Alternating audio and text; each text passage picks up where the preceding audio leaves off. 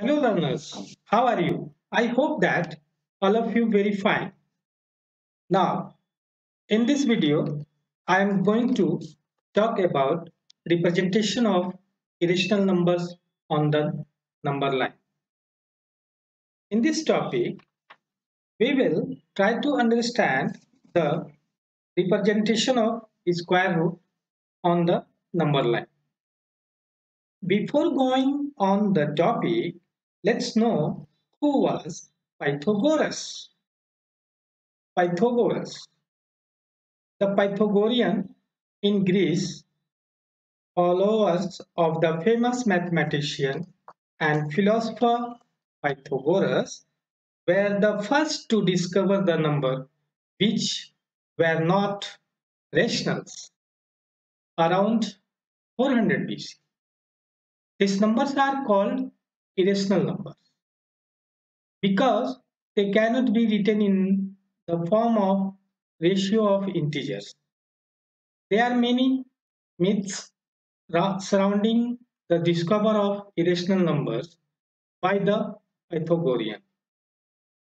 Hipparchus of Croton in all the myths Hipparchus has an unfortunate end either for discovering that root 2 is irrational or for disclosing the secret about root 2 to people outside the sacred Pythagorean sect.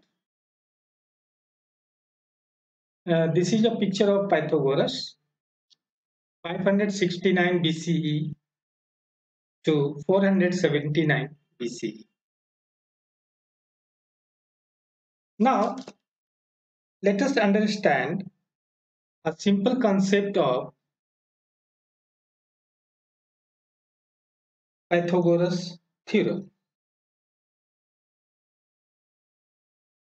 If ABC is a right angle triangle with side AB, BC and AC as the perpendicular base and hypotenuse of the triangle respectively. With AB equal to x units, we will take AB equal to x units and BC equal to y units. Then the hypotenuse of triangle according to Pythagoras that is AC here equal to square root of x square plus y square. Here the figure we have this one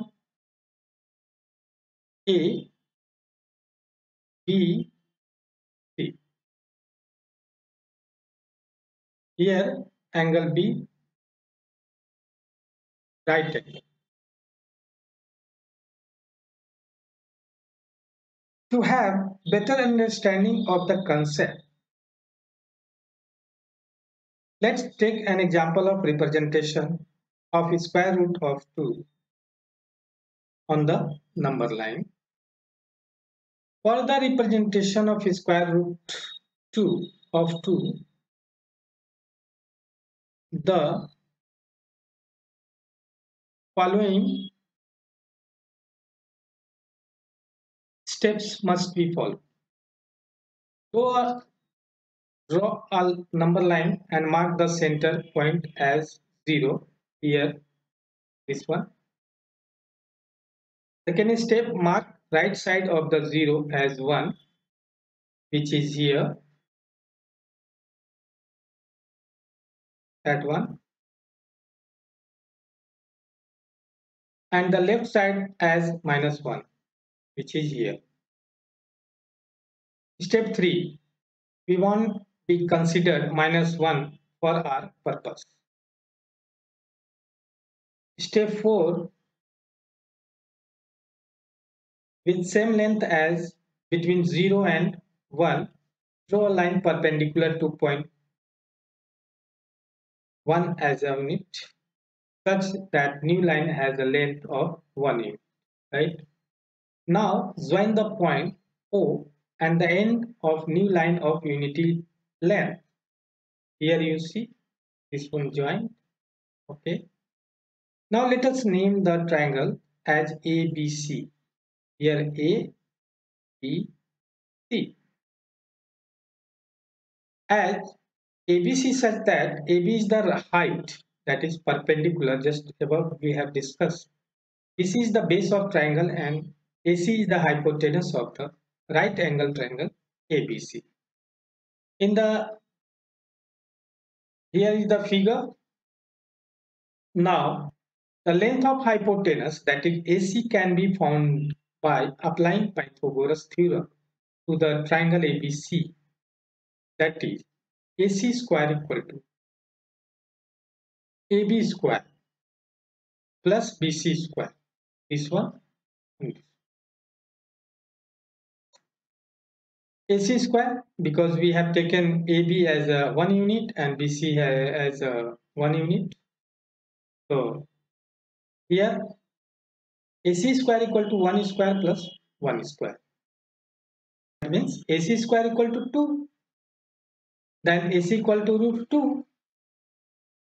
If we do squaring both side,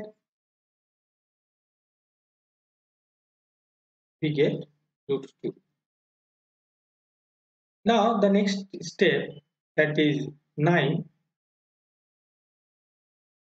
is representing root 2 above the steps on this one. Now, now step in 9 with AC as radius and C as the center, cut an arc on the same number line and name the point as D. You see below figure here is D, right? Is D. Since AC is the radius of the arc and hence CD will also be the radius of the arc whose length is root 2. Hence, D is the representation of root 2 on the number line. Thank you all of you learners. Again, we will meet in next video.